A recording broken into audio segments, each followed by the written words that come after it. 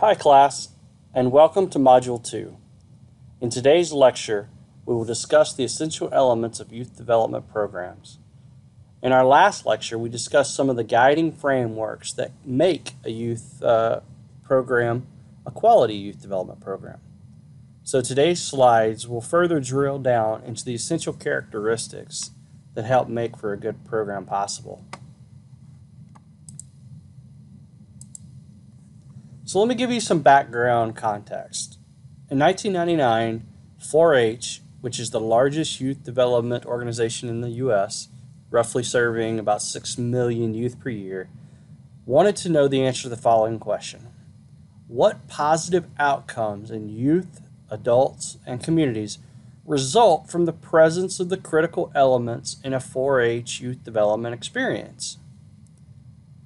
So they formed a task force, which is titled here at the bottom of the slide as the National 4-H Impact Design Implementation Team.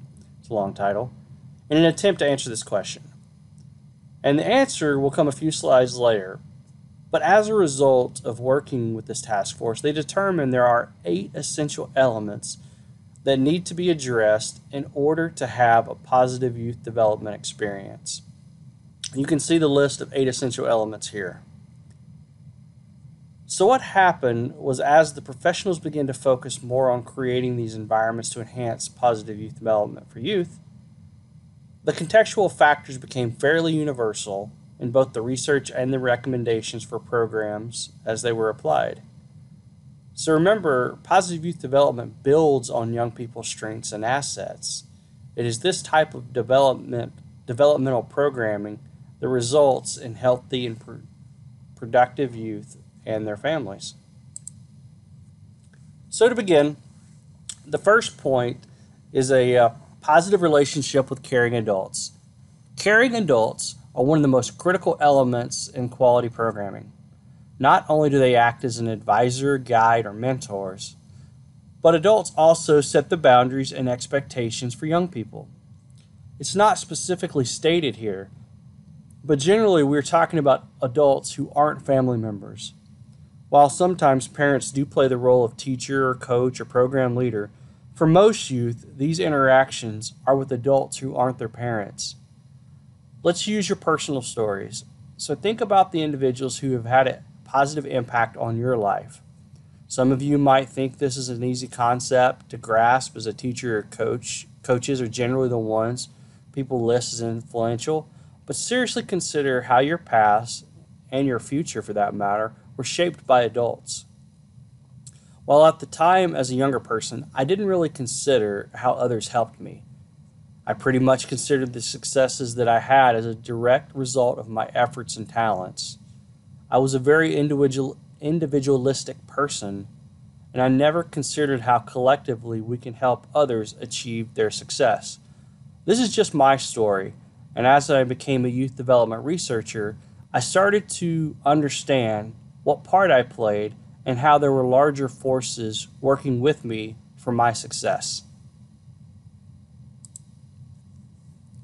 Next, we have the environmental space that youth encounter.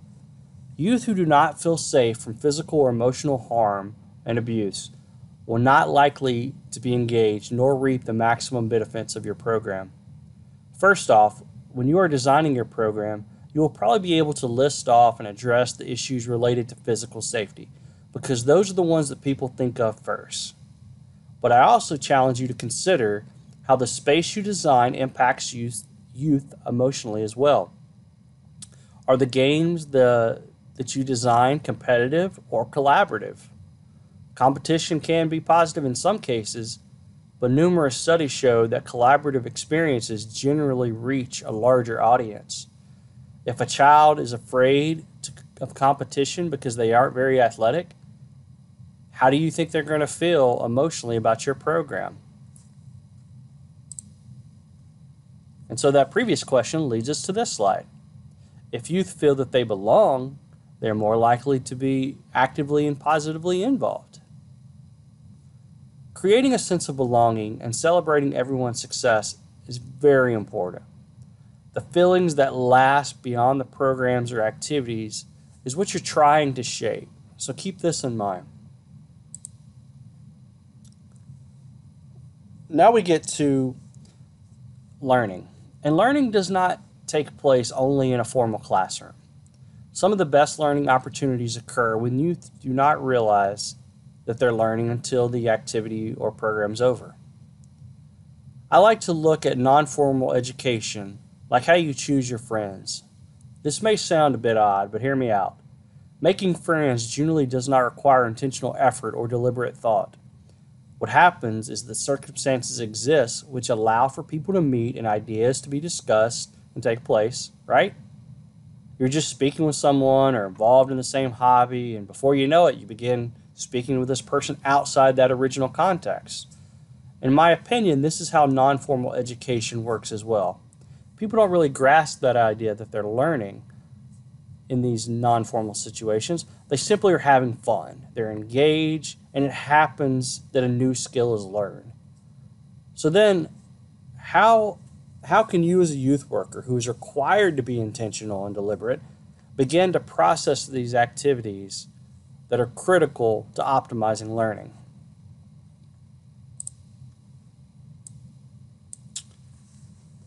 So, opportunities for mastery is one of those ways to optimize learning.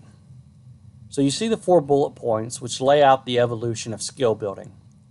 First, youth are given the introduction to the opportunity to build upon knowledge, skills, or attitudes.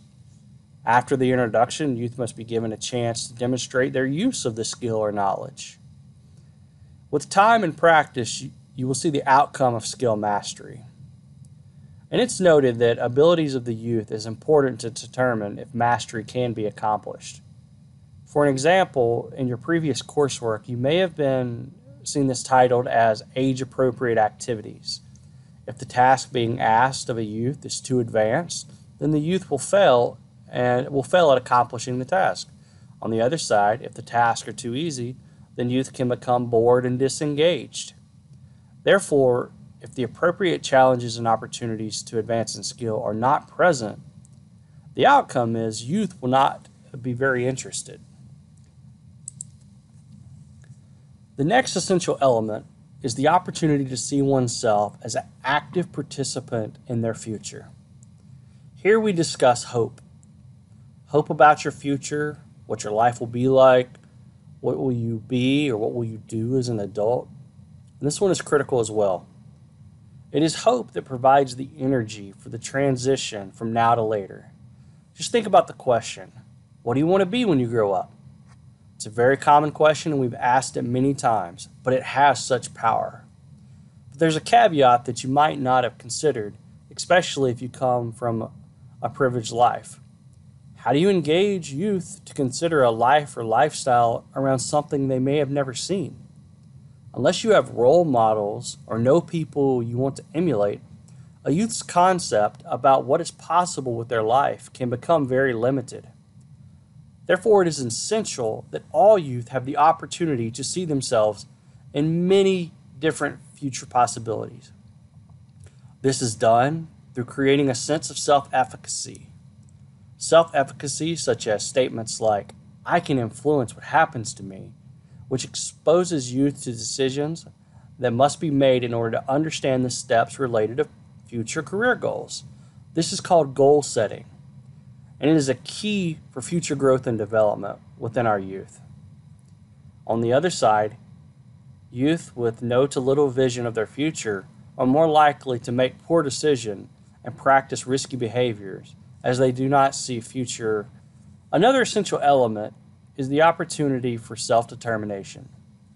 Self determination is the belief that you have an impact on your life's events that you are an active player in what happens to you, and that life is not passive and is simply happening to you. Also, self determination contributes to a sense of self efficacy as well.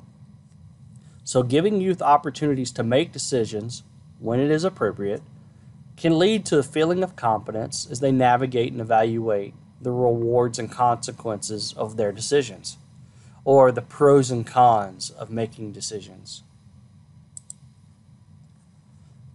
The last essential element is different from the previous ones in the fact that it is centered on others.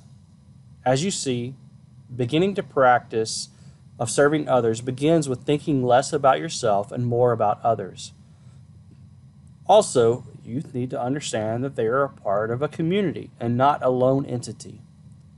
The outcome of numerous studies show that practicing service to others during childhood is more likely to continue into adulthood. Service helps youth gain a better understanding of their ability and responsibility to contribute to the greater good. Okay, so this is the review of the eight essential elements. But I want you to take you back to the question that was asked earlier in the presentation by the National 4 H Council, which was what positive outcomes in youth, adults, and communities result from the presence of the critical elements in a 4 H youth development experience. We're getting there, but I want you to see in the next couple steps that by listing the essential elements, we can start categorizing them into the needs that are being met and so those needs are belonging, mastery, independence, and generosity. This here is a visual representation in table format of the eight essential needs, eight essential elements into the four needs. Sorry about that. And it may be easier to think of them uh, simply by the letters B I G M or Big M belonging, independence, generosity, and mastery. I made it easy for you in this little moniker, and it can help you remember when structuring your programs that you need to provide multiple opportunities in which all four of these needs are met and are experienced by the youth that are participating. So here is where we get to the outcomes of the 4-H work. This diagram illustrates the interrelationships of several research studies and their perspectives on youth development. As the basic needs of youth are addressed through a setting that's designed to promote positive youth development, they lead to positive outcomes. The positive outcomes are connection, confidence, character, and caring. And competence. Sorry, I shorted one. When combined, these five C's, which you may have heard them called before, indicate a greater likelihood of contribution. And tying that back to Karen Pittman, in her statement about problem free is not fully prepared and fully prepared is not fully engaged, contribution is fully engaged. So now you're starting to see how the links in a long chain of positive youth development programs, how they have intentionality in these programs. Let's take a look at your assignments this week and see how intentionality plays a part. Module 2 Practicum. So use the internet to find a program fitting each of the grade level categories listed below, as listed in the eCampus assignment, and complete the remainder of the chart based on the website information. Use a different website or program for each age group. The chart on the right portion of the slide is the same as the link on eCampus. I just wanted to make sure you complete the correct assignment so I have a visual of it here. End of module assignment 2. EOM 2 is the beginning of your curriculum project. All of the work that you put into the EOM will result in a better grade for the final project. Spend some time brainstorming options for this assignment. When you decide what you decide here will influence weekly assignments for the rest of the semester. So to begin, plan a 3-day overnight or a 5-day 8 to 5 p.m. kind of program for 60 to 80 youth. It should focus on incorporating the eight essential elements into a model program.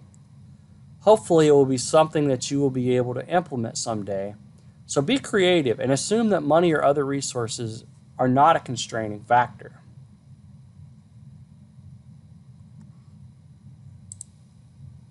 As you plan the schedule, think back to when you were a kid and how you would have responded to the way you design your program. While there are things that have to take place, such as introducing the staff or sharing the rules, they don't have to be boring or unbearable.